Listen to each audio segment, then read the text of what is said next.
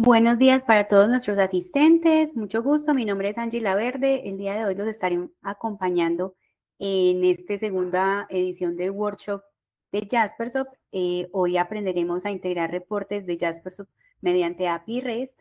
Eh, daremos un par de minutos mientras terminamos de recepcionar el ingreso de otras personas para que demos inicio a la charla. Muchas gracias y bienvenidos.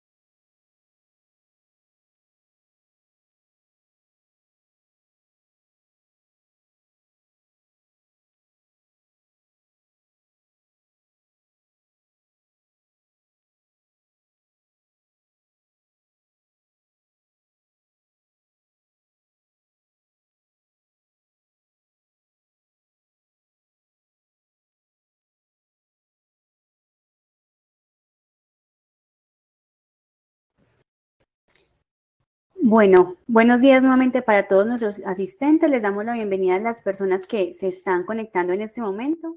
Eh, les damos nuevamente pues la bienvenida a nuestra segunda edición del workshop de Jaspersoft. El tema que vamos a abordar el día de hoy es cómo aprender a integrar reportes Jaspersoft mediante API REST. Eh, antes de iniciar con, la sesión, eh, les vamos a contar un poco sobre, sobre nuestra empresa para las personas que no nos conocen. Eh, vamos a contarles sobre qué servicios ofrecemos en IT Nova. Eh, arrancaremos desde la base de qué es Jaspersoft, cómo consumir reportes a través de API REST. Luego pasaremos a una sesión donde Elder Cañaveras, nuestro consultor senior de Jaspersoft, nos hará una demostración del tema que traemos para el día de hoy. Y por último, pues abriremos los micrófonos, tendremos disponible el chat para eh, atender todas sus preguntas, inquietudes, dudas. También el chat estará abierto todo el tiempo para que nos comenten de qué temas les gustaría que habláramos en estas ediciones de workshop de Jaspersoft. Recordemos que estos workshops son totalmente gratuitos, estamos realizando un workshop al mes, entonces la idea es que también podamos contar un poco con los temas que les gustaría abordar para incluirlos dentro de la planeación. Bueno, para comenzar, eh, ¿quiénes somos? Somos Nova, somos una empresa que lleva más de 13 años en el mercado, contamos con sede principal en la ciudad de, Bogotá, tenemos también sede en Medellín y una sede en Panamá, desde donde atendemos todo el mercado de México y Centroamérica. Eh, actualmente, pues tenemos más de 100 clientes con nuestras soluciones, con nuestros servicios digitales, más de un millón de usuarios activos eh, experimentando e implementando nuestras soluciones. Contamos con más de 10 alianzas de clase mundial, somos partner eh, de SAP, somos partner de Microsoft, somos partner de Google, somos partner de Teradata, de Rocketbook, que es una solución especializada en automatización de procesos y contamos con presencia en más de 10 países. Eh, países como Ecuador, Perú, Colombia, Nicaragua, Honduras, México, Costa Rica. Eh, un poco pues en nuestras líneas de negocio, tenemos tres líneas de negocio en Itinova, una que se dedica a todo el tema de servicios eh, digitales, también contamos con una línea dedicada solamente a consultoría de SAP y otra línea donde trabajamos todo lo relacionado con talento y mano de obra en el área de tecnología un poco de nuestros servicios digitales, realizamos todo lo que es el diseño de soluciones digitales a la medida, desarrollos específicos para clientes de acuerdo a sus necesidades, a su core y a las herramientas que actualmente tienen eh, en su organización. Trabajamos también con soluciones de planificación financiera. Acá trabajamos con herramientas eh, de Solver y también pues somos partner de SAP para eh, herramientas de analítica y planeación como lo es SAC Analytics Cloud en Planning. Eh, trabajamos todo lo que es RPA, hiperautomatización, pues que es el RPA integrado con inteligencia artificial. Estamos en la capacidad de prestar servicios de consultoría en diferentes fabricantes, como lo es UiPath, Power Automate, eh, especialmente pues Rocketbot, que es eh, nuestro partner. entonces trabajamos también muy de la mano con ellos. Trabajamos todo lo que es ciencia de datos, machine learning, inteligencia artificial, ingeniería de datos, pues haciéndonos cargo de, trabajar todo y de llevar eh, sobre nuestra responsabilidad todos los servicios de, ingeniería digitales de las compañías.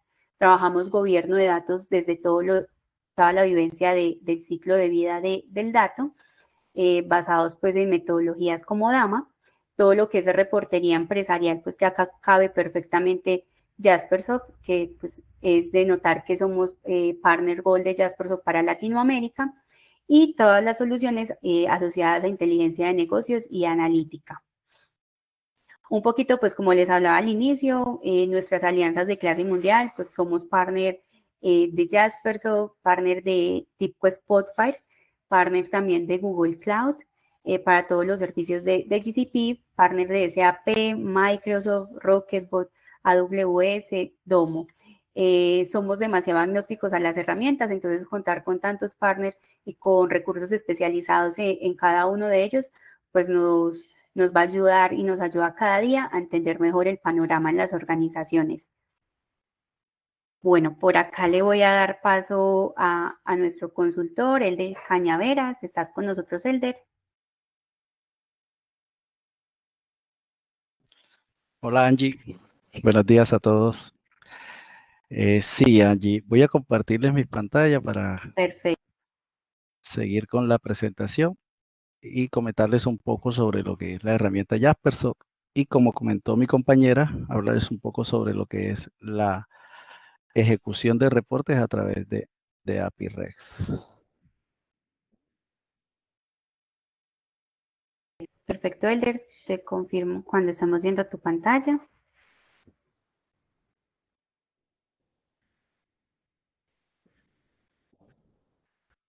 Listo, ahí estoy compartiendo, Angie. ¿Me confirma, porfa?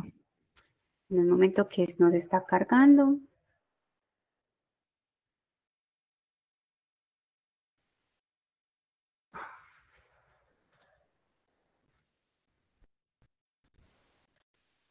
Aún no la vemos, Elder.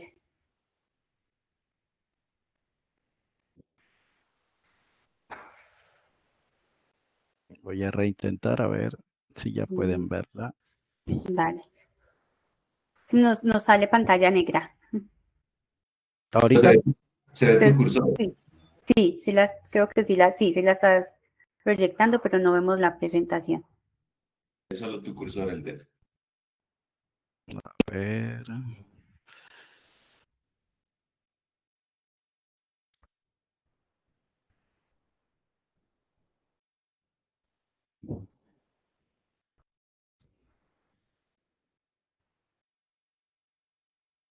Listo. Angie, bueno, eh, voy a abrir el link una segunda vez.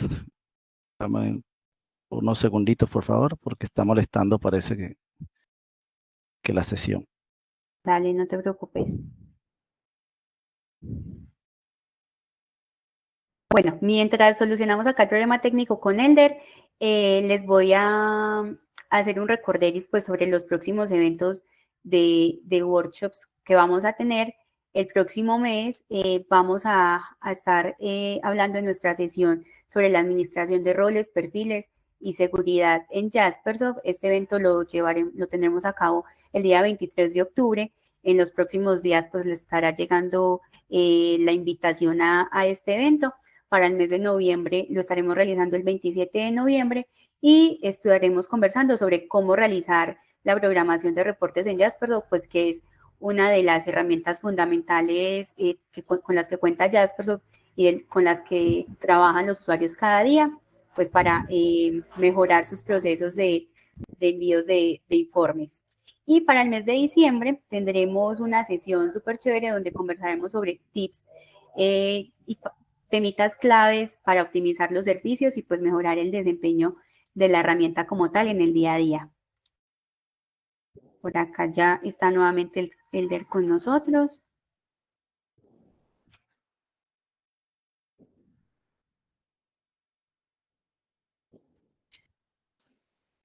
Listo, Angie. Voy a compartirles nuevamente mi pantalla. Ya debería estar funcionando todo correctamente. Ahora sí, Elder, ya la vemos. Perfecto, ya ahí pueden ver mi pantalla, ¿cierto? Sí, súper.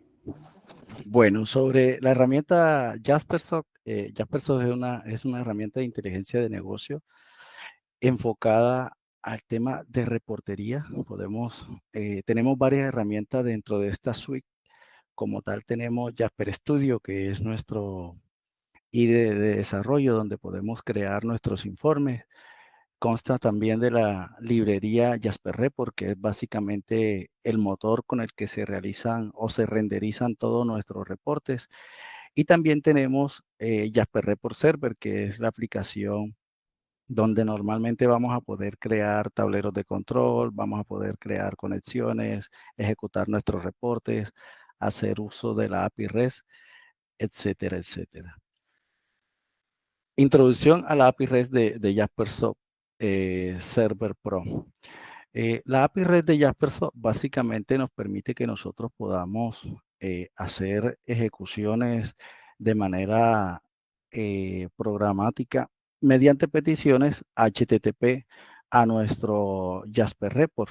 Básicamente con esto podemos lograr ejecutar reportes, crear usuarios, descargar recursos, subirlos, actualizarlos, modificarlos, etcétera, etcétera. Podemos crear o generar reportes a partir de una URL o también podemos programarlos para que se ejecuten a cierta hora eh, de manera asíncrona. ¿Cómo funciona la API? La API básicamente eh, es una de las capas que ofrece la herramienta Jasper Server Pro. En la capa inferior vamos a tener lo que es como tal Jasper Report Library. Este básicamente es el motor con el que se crean todos nuestros reportes. Eh, en la capa secundaria vamos a tener la API REST. Esta API REST es la comunicación entre nuestra librería, el repositorio y por último tenemos Jasper Report Server, que es la aplicación donde normalmente ingresamos con nuestro usuario y contraseña. Cuando utilizamos el usuario, contraseña, vemos nuestro repositorio, ejecutamos un reporte, estamos usando el front de nuestra aplicación. Sin embargo, todas esas solicitudes son eh, procesadas por la API REST, esta capa intermedia que tenemos directamente en la aplicación.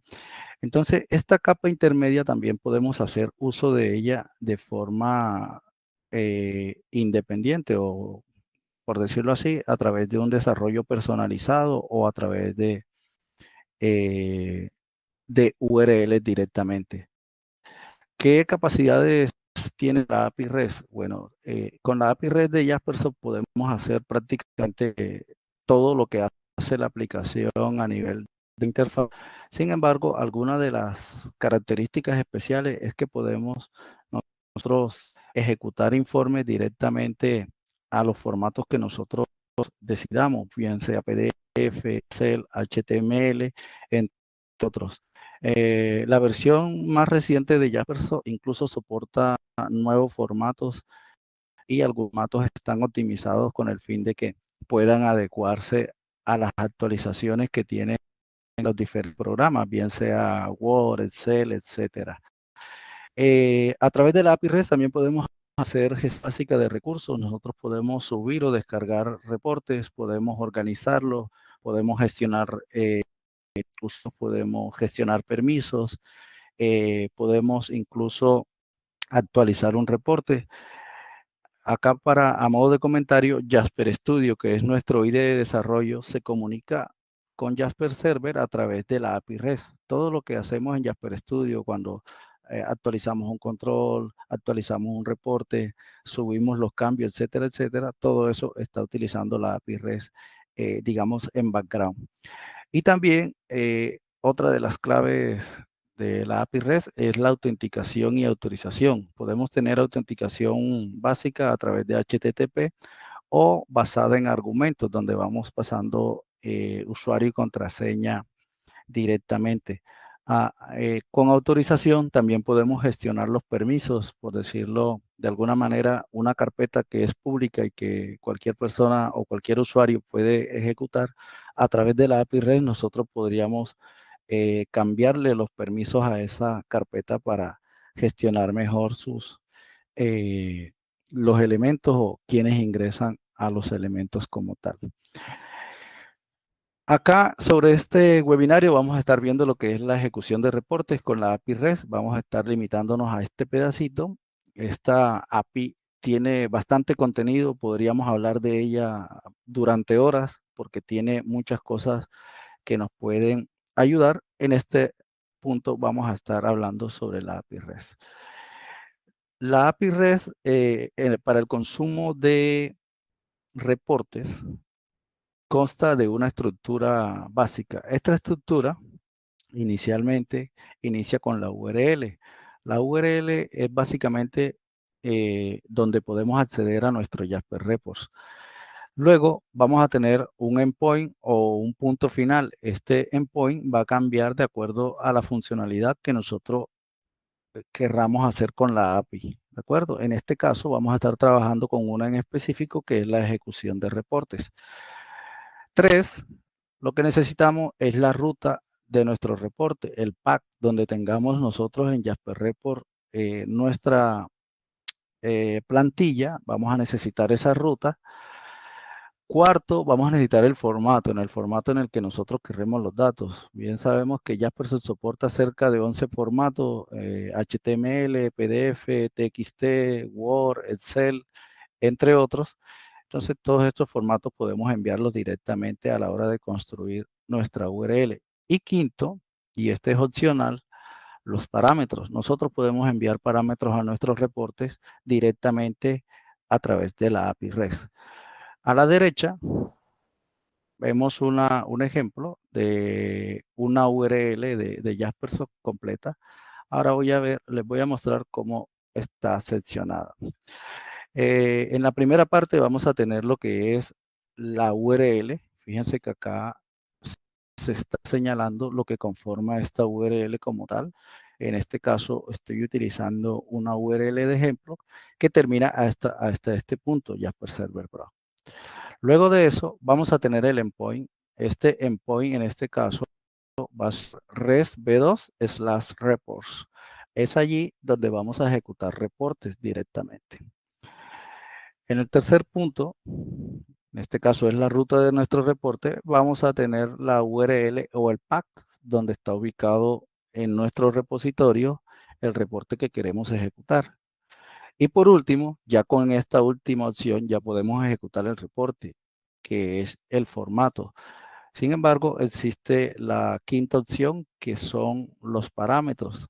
Estos son opcionales, y digo que son opcionales porque eh, el reporte puede que tenga o no eh, parámetros y nosotros podemos definir si enviamos algunos propios como tal eh, de nuestro desarrollo. Por ejemplo, acá, si tuviera un parámetro que se llamara ID cuenta, yo puedo enviar y si tengo un parámetro 1, también le puedo enviar el valor 1. Sin embargo, la API también tiene parámetros propios, como por ejemplo, si queremos una página en específico, es decir, si este reporte trae consigo 20 páginas, nosotros podemos indicarle a la API REST que solo nos devuelva una de esas páginas o que nos devuelva una página en blanco, por ejemplo, o que nos devuelva como tal la última página. Todo esto podemos hacerlo a través de la API REST.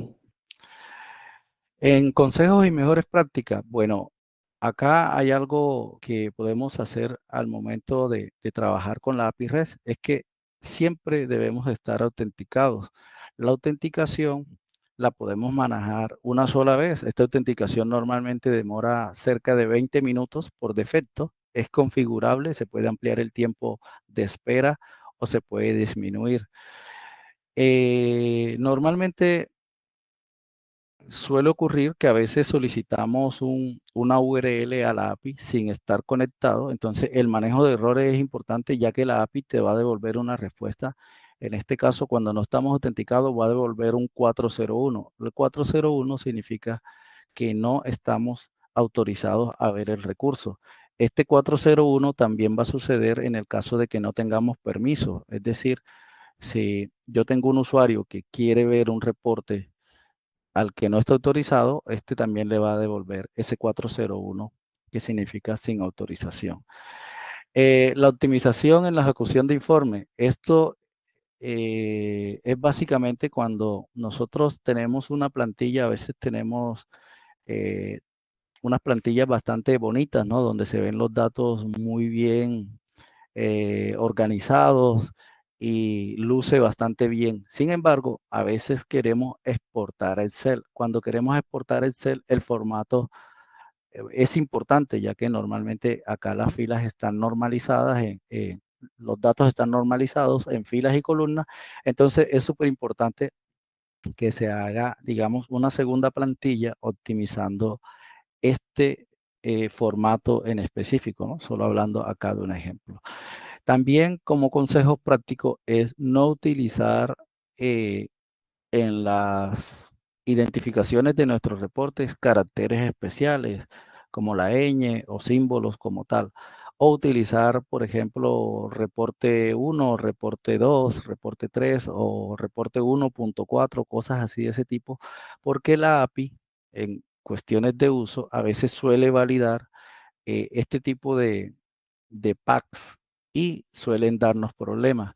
Entonces lo mejor para utilizar o crear nuestros elementos en el repositorio es evitar caracteres especiales y ojalá todo en minúscula. Esto de seguro nos va a ayudar bastante. Recursos adicionales, pues eh, tenemos directamente lo que es la documentación de la API REST. Esta es bastante extensa, por lo que les comentaba, que tiene muchas cosas. Eh, podemos hacer prácticamente el 95% de todo lo que hace la aplicación eh, Jasper Server. Entonces, tiene un contenido bastante interesante y un poco extenso. Esta la podemos eh, verificar o acceder directamente mediante el navegador y podemos buscar eh, Jasper Report Server, API REST y seguramente vamos a tener varias versiones de esta API REST, ¿no? La 9.0 en este caso, que es la versión eh, más reciente de Jaspersoft. Listo. Ahora vamos a, a, ver un pequeño demo de cómo yo utilizo unos reportes de Jasper Server directamente desde un pequeño desarrollo que he creado, en este caso una pequeña página eh, en HTML, simplemente utilizar unos reportes que tengo en Jasper. Eh, Angie, ¿me confirma porfa que estás viendo una web que dice generador de reportes? Sí, Elder. Correcto. Perfecto, listo. Esto que está acá es una pequeña paginita que hicimos con el fin de ejecutar varios reportes. Como les comentaba, la API tiene varias funcionalidades, entre eso la información del servidor. Si yo, por ejemplo, con este botón lo que hago es solicitar información de Jasper Server. En este caso me está diciendo que es la versión 2024-0109, 429, versión 9.0, la edición profesional y que es de tipo comercial. Esta información viene directamente de la API. Por ejemplo, acá otro botón que nos va a permitir loguearnos. Aquí, cuando yo doy clic, hago login directamente. Fíjense que no está recargando, no está enviando nada, sino que a través de código JavaScript yo estoy haciendo un login con la API. Y acá también puedo hacer un logout directamente. Entonces, cuando yo, por ejemplo, esto es un reporte que está en Jasper Server, yo le puedo dar acá este reporte, básicamente, fíjense cómo me está devolviendo el formato en HTML, me está devolviendo 47 páginas en este caso, fue en cuestión de segundos. Pero también, como les comentaba, aquí estoy haciendo una ejecución y estoy visualizándose, pero puedo exportar directamente desde esto. Vamos a, exportarlo a diferentes formatos. En este caso voy a empezar PDF, a darle acá a exportar. Esto ya me está trayendo el resultado. Voy a guardarlo de acá. Vamos a abrirlo, a permitir la descarga. Ahora ya está descargado. Fíjense que aquí estoy viendo exactamente el reporte. Directamente ya en mi máquina, página 1 de 47. Aquí ya puedo eh, este documento ya enviarlo que yo necesito con él. Eh, por supuesto que también lo puedo llevar a otros formatos, por ejemplo, Excel. Vamos a llevarnos este Excel, le doy aquí a de acá, devuelve ahora el formato en XLS. Vamos, a descargar acá. Podemos abrir y cuando lo por acá deben estar viendo una, una Hola, Alder, qué pena que te interrumpa. Si quieres puedes apagar tu cámara porque se está entrecortando un poquito. Dame un segundo ya. Listo. Gracias. Listo. Sí, vale, eso quizá el audio. Listo, hagamos ya lo que es la, versión, eh, la versión en Excel de nuestro documento, fíjense la fecha de hoy, donde estamos en la ejecución. Y también, por supuesto, puedo yo a otros formatos. Vamos a ver dónde está Chrome por acá. Eh, eh, por ejemplo, Word también me lo puedo llevar, exportar. Esto va a realizar la solicitud de la API REST. Nos devuelve el documento. estando el documento en nuestra esquina, yo puedo abrirlo y aquí voy a tener el formato ya en como fíjense que acá me trae las 47 páginas que estoy generando este documento.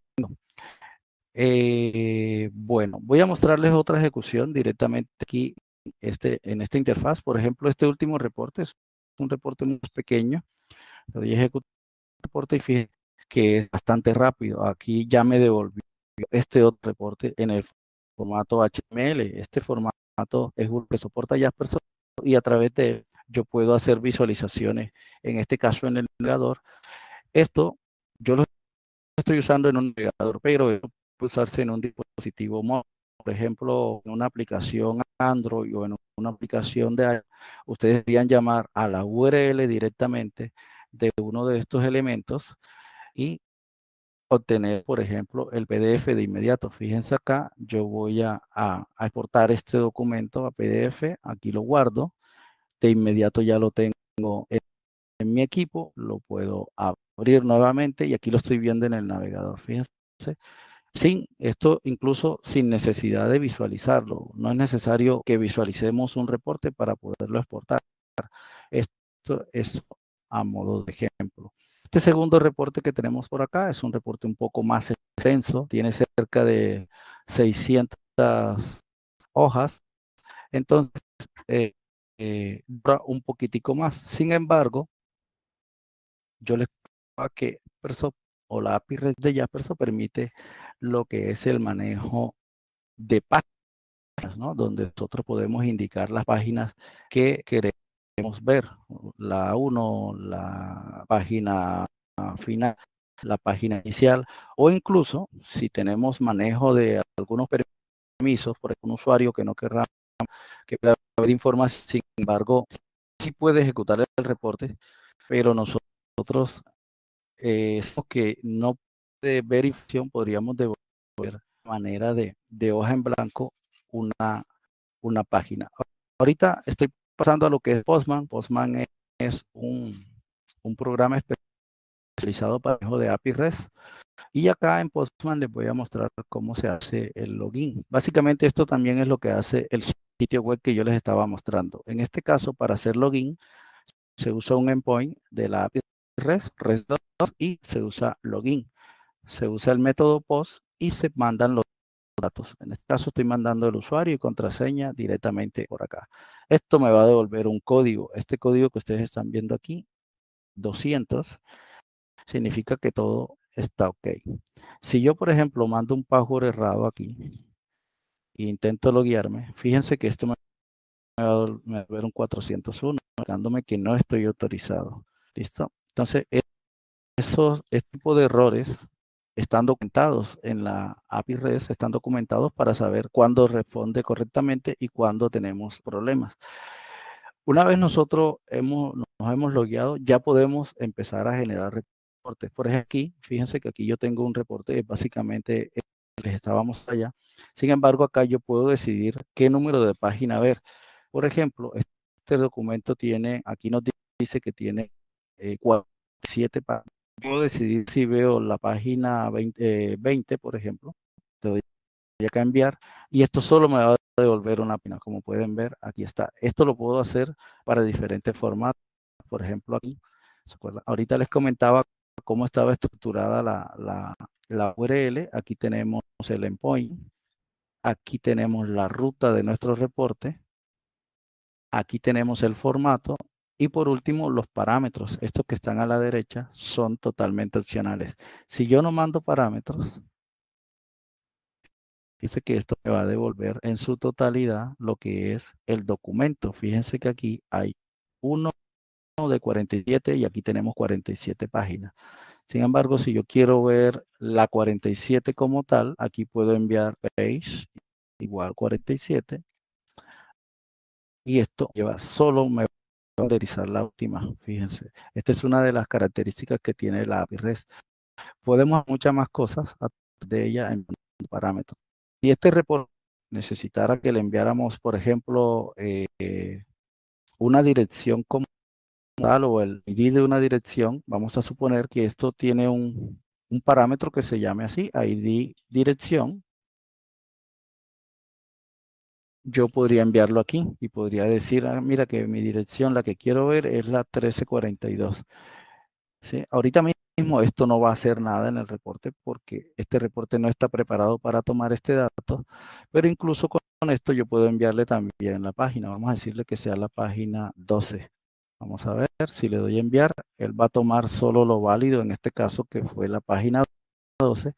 No está filtrando la información porque, como les digo, este está preparado para ello, pero así puedo enviar todos los parámetros que yo quiera, desde la hora, desde eh, el sitio en el que estoy invocando, puedo enviar muchas cosas. Eh, aquí, por supuesto, puedo yo exportar a TXT o CSV. Si, si le cambio el formato aquí de inmediato, CSV, voy a dejar solo la página 12. Si le doy enviar acá, podemos ver que él de inmediato nos está devolviendo la información en CSV. Fíjense que ya he eh, separado coma. Esto, fíjense que esto, ¿cómo aparece? Esto es donde hablaba yo de la optimización. Cuando queremos que un reporte esté usado para cierto formato, lo mejor es crear una plantilla donde solo esté limitado a filas o columnas o esté limitado al dato que queremos mostrar. Sí, por ejemplo, miren que aquí lo que dice página 12 de 47 también se agrega como un dato y eso a veces no lo queremos en nuestra plantilla o no queremos enviarlo. Entonces lo mejor a veces es diseñar una diferente que esté especializada para el formato final. Eh, por acá hay otro ejemplo de otro reporte donde podemos ver, eh, el, este era el reporte que es bastante eh, grande.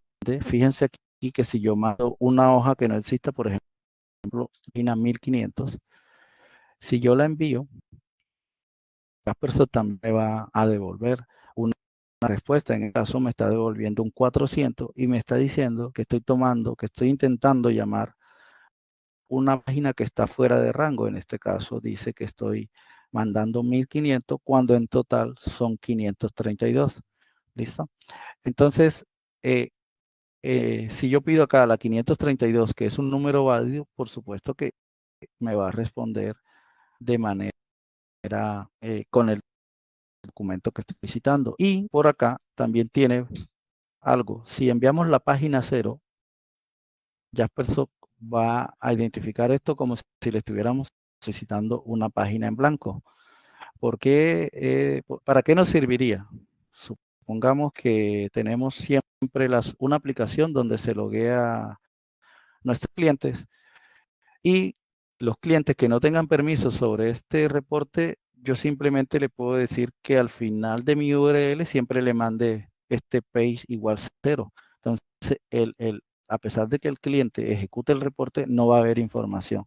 Entonces, estas son cositas que tiene ya que se puede utilizar para solucionar pequeños o pequeños desafíos, ¿no? Y también, por supuesto, podemos hacer logout. Fíjense acá, si yo hago logout, este simplemente llamando a logout.html. Si yo llamo a esta página y ahora intento tener cualquiera de los reportes que tenía antes, voy a poner esto por acá, PDF. Si yo intento enviarlo, simplemente aquí me va a devolver un 401 porque no estoy autorizado o no tengo una sesión activa. ¿Listo? Jasperson puede hacer muchas cosas. Por ejemplo, nosotros podemos exportar ese reporte. Fíjense que yo lo estoy viendo acá. Yo me lo puedo traer a mi equipo. Por, si yo quiero, tengo Jasper Studio aquí y quiero hacerle un cambio, yo me lo puedo traer. Hago una solicitud. Fíjense que acá el endpoint cambia un poco. Eh, tengo que loguearme. Esto no funciona si no estoy logueado. Incluso no funciona si no es un superusuario, esta parte de aquí. Acá ya estoy me dice exportación en curso, luego le puedo decir en qué estado está mi exportación, esto me devuelve un ID, con este ID yo puedo verificar el estado en el que está, vamos a ponerlo por aquí, este, fíjense que el endpoint cambia un poquito porque aquí mando el estado, le doy enviar, él me va a decir que la exportación ha sido finalizada correctamente. Y ahora yo le puedo decir, bueno, dame esa exportación, aquí también cambia un poco el endpoint, Aquí pongo mi ID, aquí le mando un nombre, en este caso un punto .zip, que es como yo quiero guardar el dato, le doy enviar. Y aquí esto que están viendo es un punto .zip. Si yo le doy aquí guardar como, y pongo por acá eh, mi reporte .zip, lo guardo. Esto me lleva directamente aquí, mi reporte.zip, justo aquí lo estoy viendo, si yo le doy doble clic, esto es un elemento, fíjense, que aquí ya yo tengo un recurso, si yo entro aquí, publish, sample, eh, reports, al account, aquí está mi reporte.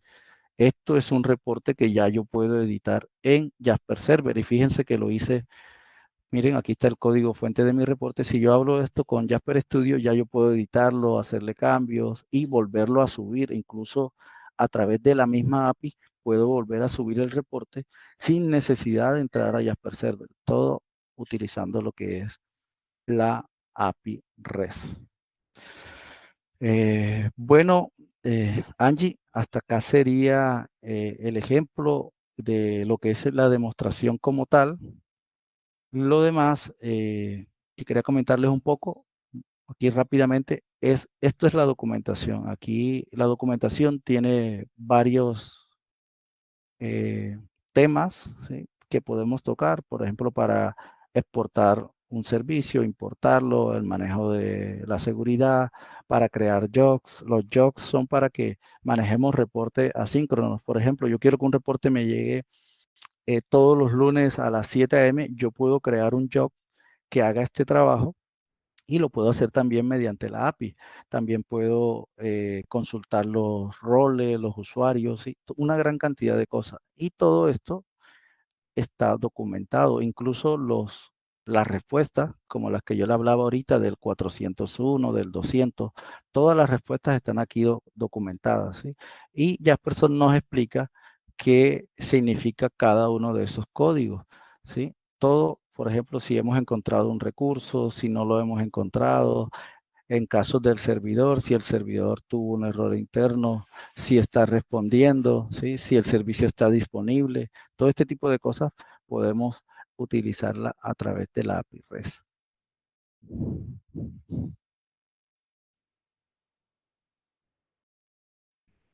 Perfecto, Elder. Vale, muchísimas gracias ahí por la explicación.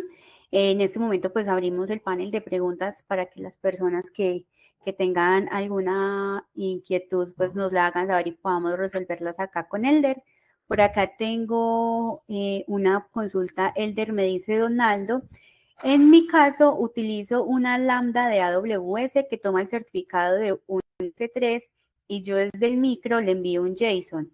¿Eso podría simplificar la implementación que tengo?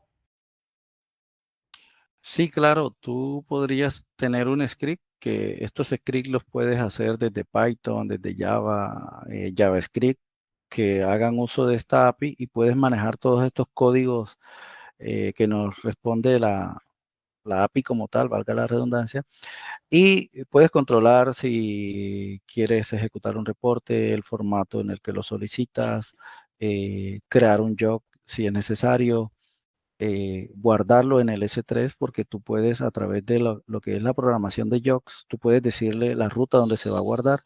Jasperson soporta que guardemos en disco entonces, si tú tienes una unidad S3 atada a tu Jasper Server, podrías decirle que lo almacene en cierta ruta y ese documento inmediatamente ya lo vas a poder ver desde cualquier otra parte una vez esté en el S3.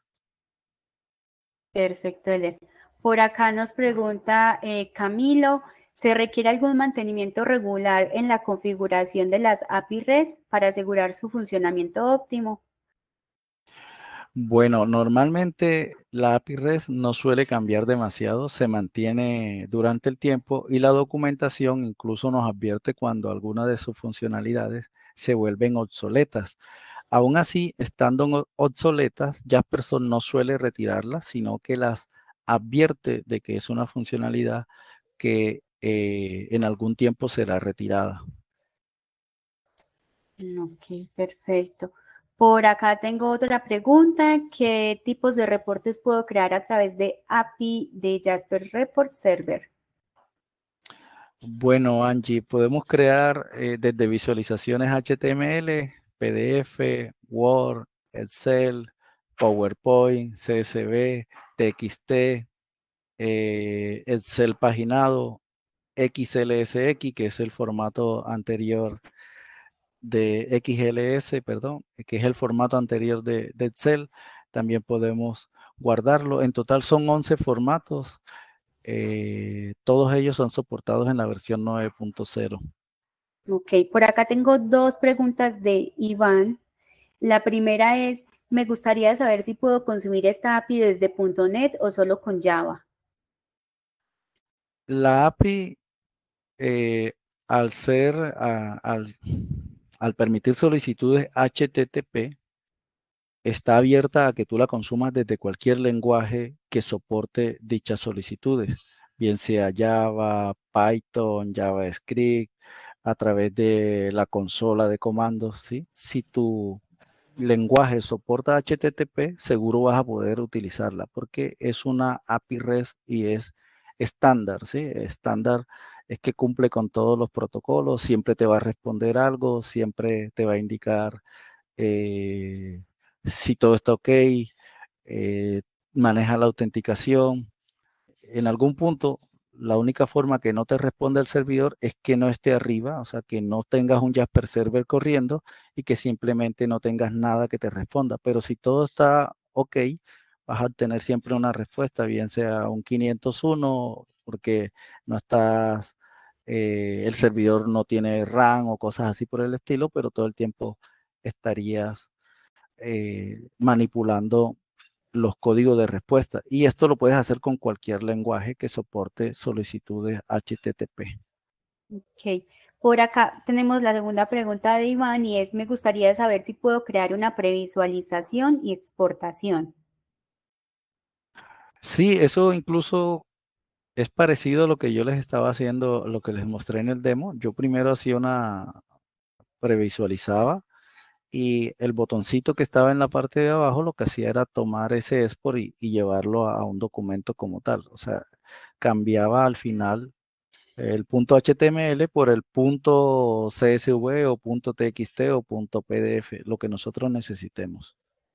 Ok, por acá tengo una pregunta de César. ¿Se tiene integración Oracle Database Autonomous en OSI? No, no me es clara la pregunta.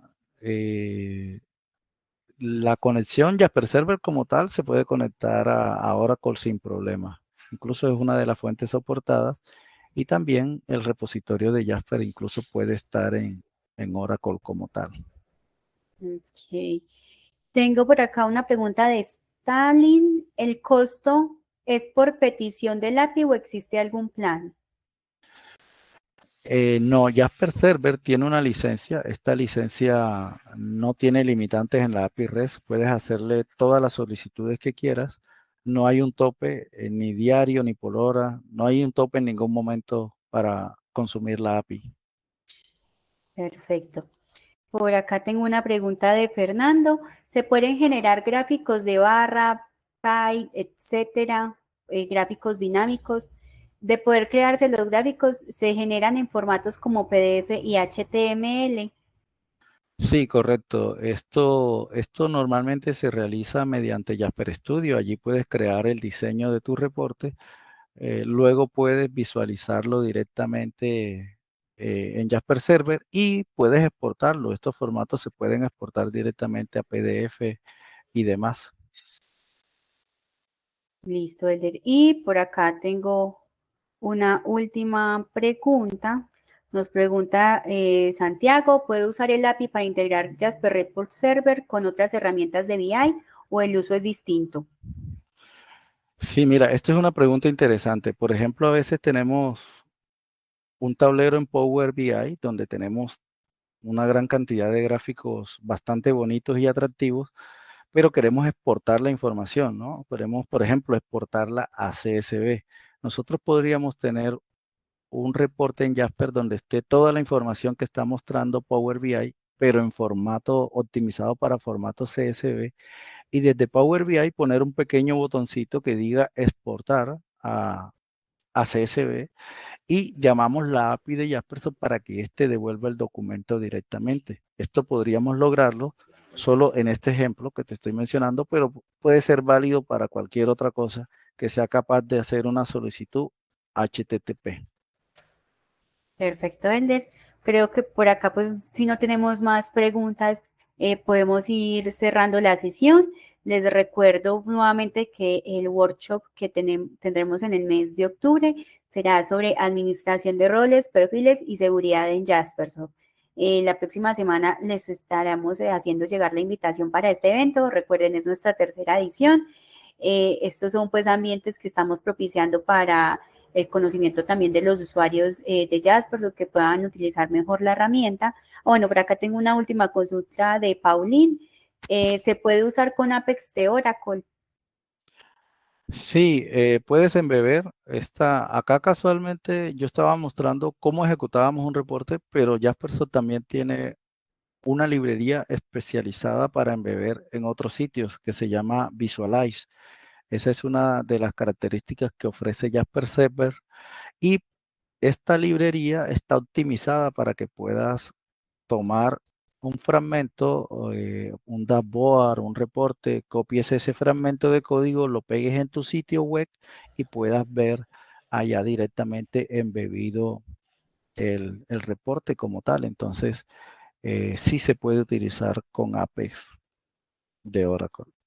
Perfecto. Eh, con esta última pregunta de Paulín, entonces damos por finalizado esta segunda edición de Workshops de Jaspersoft. Eh, muchísimas gracias a todos pues, por haber participado de, esta segunda edición. Gracias, Elder, por tu tiempo. Eh, les deseo que tengan un buen resto de día y pues un buen próximo fin de semana. Muchas gracias a todos y que estén muy bien. Gracias. Angie, gracias, con todo gusto. Hasta luego a todos.